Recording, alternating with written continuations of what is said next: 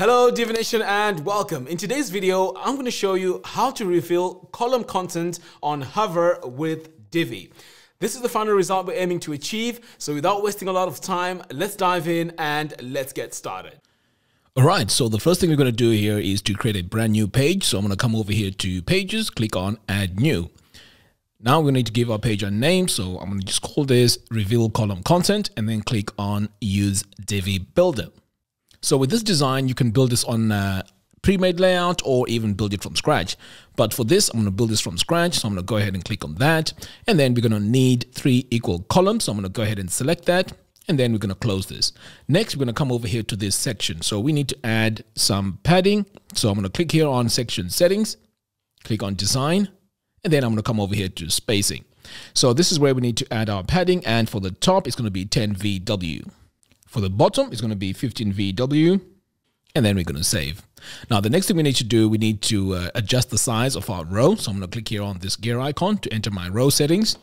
Click on design, and then we're going to come over here to sizing. So the first thing we're going to do is to make this row full width. So we want this to cover the whole width of our page. So I'm going to go ahead and select that. Next, we're going to come over here to gutter width. Now, the gutter width is the space between the columns. So what we need to do is to remove the space completely. So I'm going to drag this slider all the way down to one. I know right now we can't see this happening on the screen. That's because we don't have anything in those columns. So let's go ahead now and save. So the next thing we're going to do now is to add a text module. So I'm going to go ahead now and click this plus button to add my module. And then I'm going to search for it and then I'm going to select it. So here we just need a title. So I'm just going to get rid of all this text and our title here needs to be assigned to heading 3. So I'm going to come over here, set this to heading 3, and then we're going to come over here to design. So what we need to do now is to go into the heading 3 text and add some stylizations. So I'm going to start off here with uh, clicking this uh, tab for heading 3. We're going to add our font and our font here is going to be Didact Gothic. Gothic. So all you have to do if you don't have it on this uh, drop down, you just need to search for it. It's a Google font and it's free. So I'm going to select that. We're going to make it bold. And uh, the next thing we need to do is to align this to the center. And let's give this text a text color. So uh, if you want to follow along and use the exact same settings as I'm using throughout this tutorial, I will leave a link to the post in the show notes below. All right, so I'm going to go ahead now and click this eyedropper tool and paste my color in here. But of course, you can use any color that you want uh, throughout this design. Right, so the next thing here is to add my heading 3 text size. So currently it's on 22 pixels, but I need to set it to 1.2 VW. And then while we're here, we might as well enter our mobile devices. So size for our mobile devices, so I'm going to click here on this uh, little icon, click on tablet. And for our tablet and phone, we're going to set this to 20 pixels. Now, this step is very important because it allows you to have a balanced design throughout all devices. Okay, so now that I've entered all my um, settings, I'm going to come back over here to desktop. And for now, I'm going to go ahead and save. So what we need to do next is to go back to our rows, our row settings, because we need to add our paddings and uh, margins. So I'm going to click again on this gear icon, design, spacing. So what I want to start off with is by adding my left and right padding. So I'm going to come over here and my left and right padding is going to be 8 VW. But notice I'm going to use this, uh, this chain tool and this will apply my value both to the left and the right. Okay, so next we need to add column 1 right padding of 2 VW. So I'm going to add it here. And then next we need to add column 2 left padding of 1 VW. And then we need to go to column 2 right padding and this needs to be 1 VW as well. And then column 3 left padding needs to be 2 VW. Okay, so we've just manually added our spacing between all our columns. So now that that's all done, I'm going to go ahead now and save. And then we need to add a text module right below our title here. So I'm going to go ahead and click this plus button, search for my text, select my text module, and now my text has been entered. Now, this is where, I mean, right now I'm using this dummy text, but in your case, you need to use your own text uh, for your own website. So for now, I'm going to go ahead and save. And then we need to go into our heading text. So I'm going to click here on this gear icon, click on design, spacing. And over here, we also need to add our margins and our padding. So we're going to start here with the bottom padding of 4VW. And then I'm going to come over here and you can see here that this looks much better now that we have space between these two modules. Okay, so I'm going to add my padding here. So my top and bottom padding is going to be 4VW. And then again, I'm going to activate my change so that my value is added both to the top and the bottom.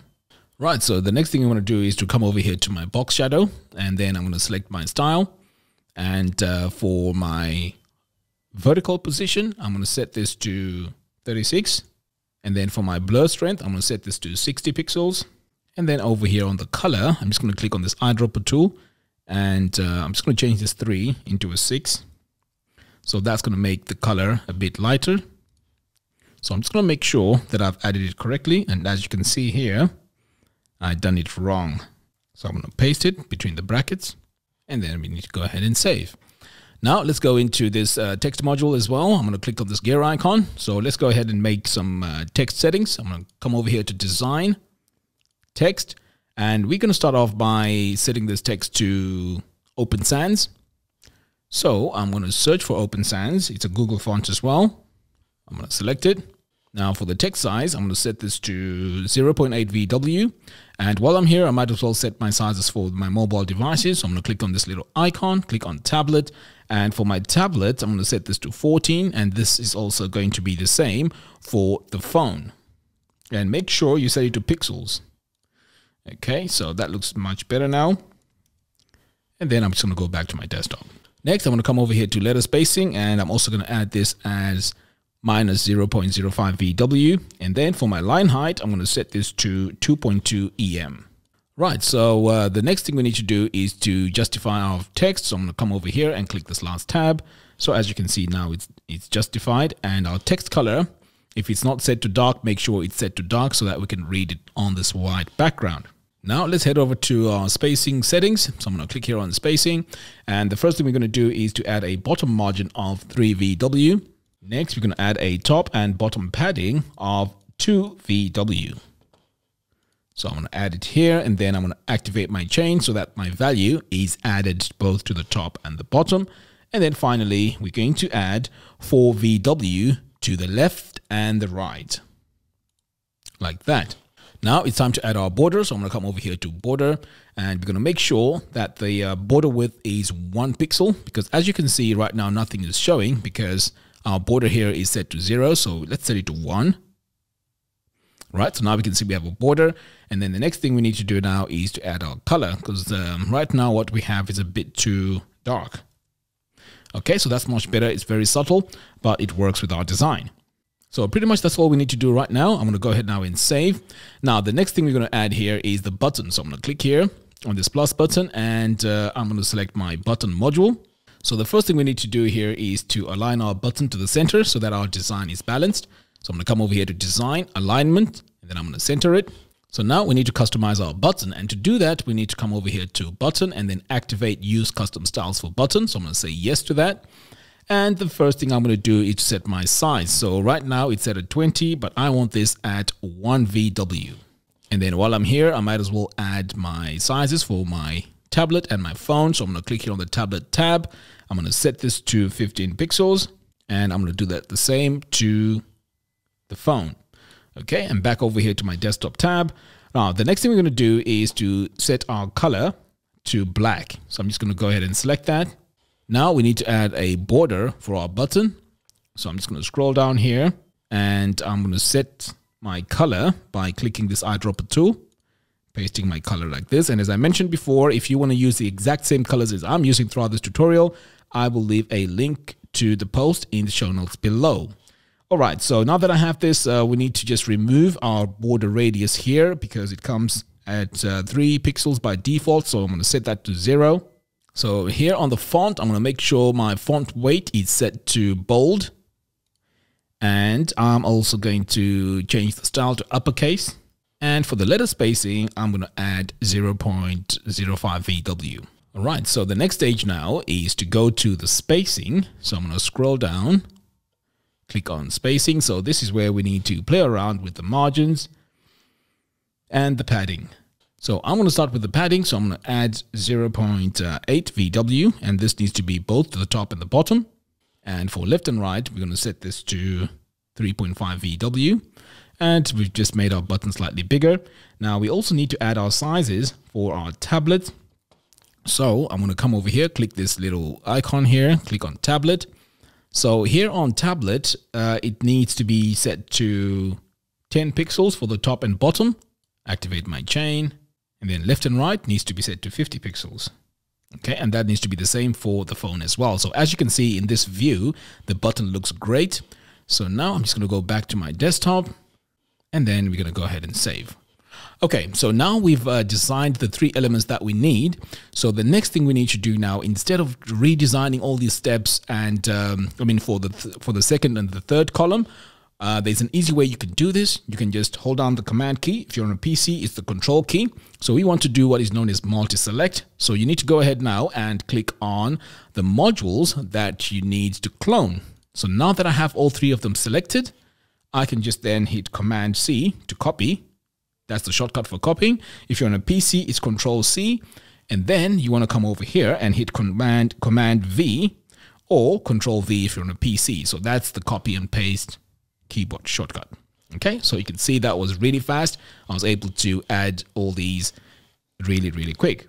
So now to just uh, to make these different, all you have to do is to go in and change the colors and you can also change you know, the contents of this information. So what we're going to do now is just to change the color of that heading. So I'm going to select heading 3 and then I'm going to click here on my color and just replace this old color with my new one. Okay, move on to the next one. We're going to do the same. We're just going to come over here, click on this gear icon, design, Make sure you choose heading 3, otherwise it won't work. And then I'm going to paste it here like that. So now we have three distinct colors just to differentiate my columns.